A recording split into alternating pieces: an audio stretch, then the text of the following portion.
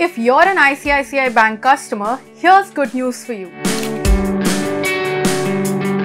You can now use your international mobile number to make instant UPI payments in India. All you have to do is follow these simple steps. Log into the iMobile Pay app, then click on UPI payments. Verify your mobile number, click on Manage and then go to My Profile.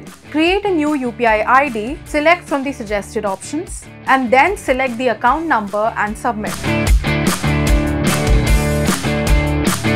Previously, NRIs had to register an Indian mobile number with their ICICI bank to make UPI payments. Now, they can use their international numbers.